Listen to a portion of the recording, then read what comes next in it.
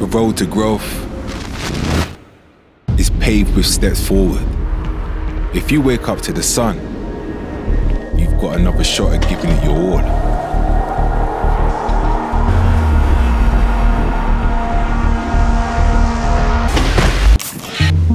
It doesn't come easy. But what's another day of blood and sweat when you become better than you were yesterday? Failure isn't falling down, it's refusing to get back up. So even in the face of defeat, run with a pack that seeks victory. Because who you are is who you choose to be. And you chose the road to growth.